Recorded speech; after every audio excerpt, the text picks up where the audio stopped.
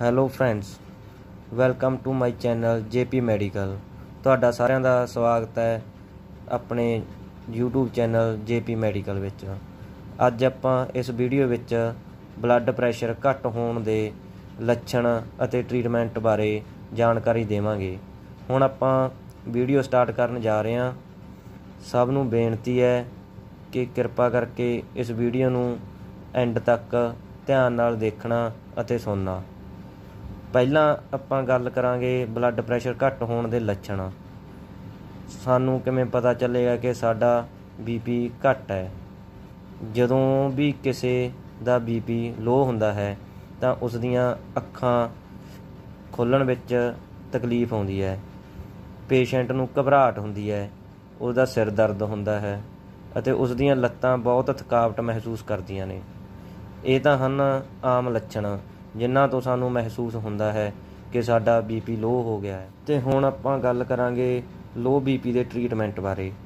ਲੋ BP ਲਈ ਤਿੰਨ ਤਰ੍ਹਾਂ ਦੀ ਮੈਡੀਸਨ ਦੀ ਜ਼ਰੂਰਤ ਪਵੇਗੀ। ਪਹਿਲੀ ਟੈਬਲੇਟ ਦਾ ਨਾਮ ਹੈ ਨਿਮੋਡੈਕ ਪਲੱਸ। ਜੋ ਤੁਹਾਨੂੰ ਜ਼ੂਮ ਕਰਕੇ ਚੰਗੀ ਤਰ੍ਹਾਂ ਦਿਖਾ ਰਹੇ ਹਾਂ ਅਸੀਂ। ਇਸ ਵਿੱਚ ਨਿੰਮੋ ਸਲਾਈਡ ਤੇ ਪੈਰਾਸੀਟਾਮੋਲ ਦੋ ਸਾਲਟ ਦਾ ਕੰਬੀਨੇਸ਼ਨ ਹੈ। ਤੇ ਇਸ ਤੋਂ ਬਾਅਦ ਦੂਜੀ ਮੈਡੀਸਨ ਦਾ ਨਾਮ ਹੈ ਪੈਨਸਨ ਡੀ।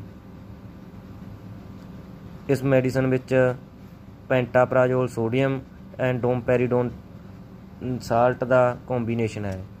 ਤੇ ਇਸ ਤੋਂ ਬਾਅਦ ਤੀਜੀ ਅਤੇ ਲਾਸਟ ਮੈਡੀਸਨ ਹੈ Neurovin forte Neurovin forte Neurovin forte tablet ਹੈ। ਇਸ ਵਿੱਚ vitamin B complex with B12 ਮੌਜੂਦ ਹਨ।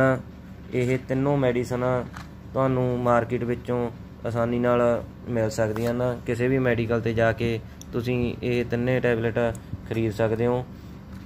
ਤੇ ਇਹ ਤਿੰਨੇ ਪ੍ਰਕਾਰ ਦੀ ਟੈਬਲੇਟ ਤੁਸੀਂ ਇੱਕ ਇੱਕ ਟੈਬਲੇਟ ਲੈਣੀ ਹੈ ਤੇ ਤੁਹਾਡੀ ਬੀਪੀ ਦੀ ਪ੍ਰੋਬਲਮ ਠੀਕ ਹੋ ਜਾਵੇਗੀ।